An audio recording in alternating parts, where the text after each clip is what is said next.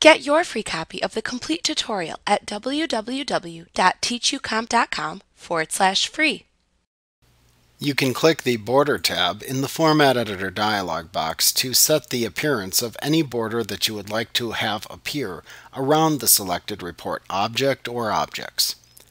Use the drop-downs that appear next to the left, top, right, and bottom labels to choose the line style that you would like to apply to that selected side of the report object.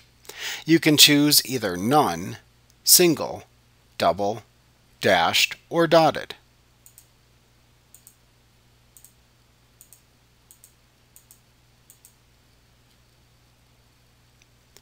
You can check the Tight Horizontal checkbox to set the border to appear as tight as possible around the data displayed within the field.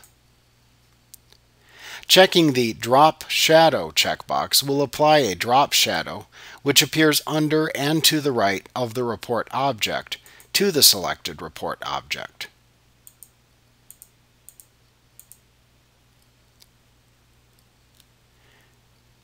You can use the Border dropdown to select the desired color of the border applied from the drop-down menu of choices.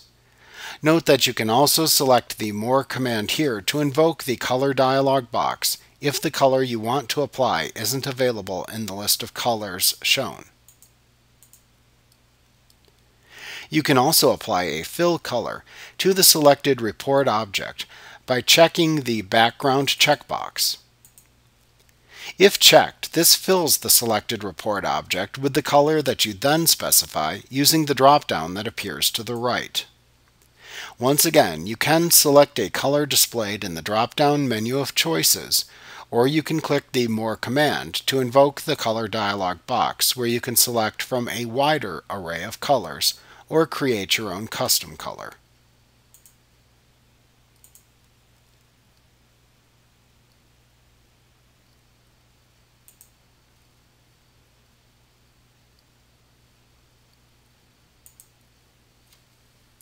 Like what you see? Pick up your free copy of the complete tutorial at www.teachucomp.com forward slash free.